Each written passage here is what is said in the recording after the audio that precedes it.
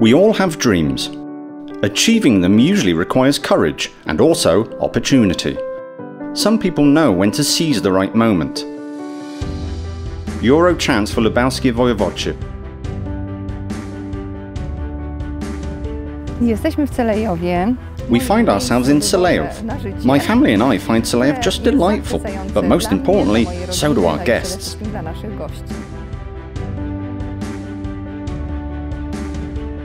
Pojawiły się możliwości. A funding opportunity was made available. We had the idea of building the prettiest salacarium that we could imagine. Jesteśmy w stanie sobie wyobrazić. Zebrała się rodzinka. The family got together. What could we do? Let's build a garden arbour for tourists and open a fruity stopover. Spełniają się marzenia. Dreams come true. Our community was planning a garden just like this. The right time came when funding from Switzerland became available. Powstały fundusze szwajcarskie. Przetwory z płatków róży były robione. Our family has been making rose preserves for years. Now we are discovering them anew. We started this plantation to have our own fruit to work on.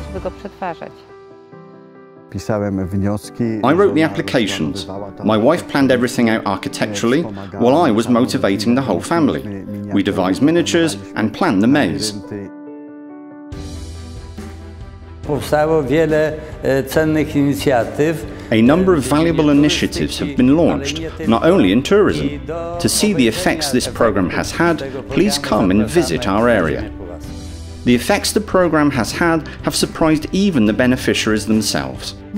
My thinking was they came, they saw what there is to see, they'll pick somewhere else for their next trip. But it turns out they're coming back. W przyszłym roku musimy już We'll have to expand the garden for next year if we want to accommodate everyone. Teraz asortyment się już tak powiększył. że We started off with raspberry juice, but now our stock has grown to 9 or 10 items. They just fly off the shelves. Zdobywane. Strength lies in cooperation. All Eurochance for Lubelskie Voivodship participants have found this statement to be true. w tę turystykę Completely new people are getting into tourism, fresh blood, if you will. People see that we are open to tourism, but also to each other. Staramy się wzajemnie poznać It's important that we know each other's selling points. The potential we have is huge, and you can quote me on that. The Puławy district led the project. The local action group Green Ring, the Lublin Farmers Counselling Centre in Końskowola, and the Lublin Self Help Centre were all partners in the project. 143 projects valued at around 10 million Polish zloty were financed from the programme between the years 2011 and 2016.